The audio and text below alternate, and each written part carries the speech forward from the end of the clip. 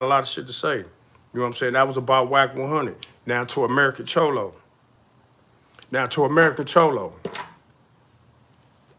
I feel your pain, American Cholo, because American Cholo, he trying to live a righteous life. He trying to live a different life, right? But he's still battling with his old self. Meaning, if somebody get on here and say something, you know what I'm saying? Everything don't need to be addressed. Basically, in so many words. Everything don't need to be addressed because once you address shit and say certain stuff, then you open the door for everybody else to be trying to nitpick on stuff, say this and say that. You know what I'm saying? American Cholo, man, you keep doing what you're doing. You know what I'm saying? Keep pushing your channel. If you really standing for what you saying, which is peace for black and brown, keep pushing that, bro. You know what I'm saying? Because the truth don't need no help, and peace gonna always outweigh the bullshit. Period. Bullshit only lasts a little bit. You feel me? Tough times only last a little bit, but tough people do.